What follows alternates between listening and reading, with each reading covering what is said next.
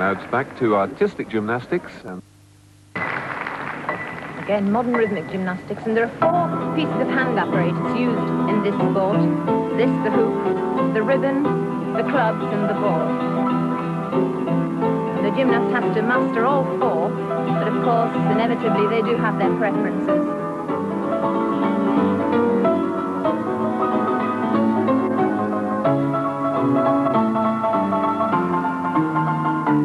Not allowed to tumble. It must be arches and rolls, movements, and they must also show that they can move the, the hoop with both hands.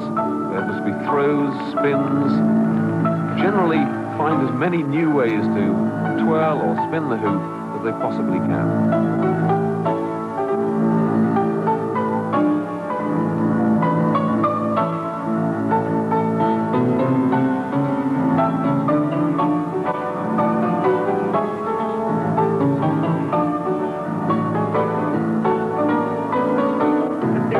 Difficult to concentrate on the music, the steps, and the throwing and the catching of the apparatus.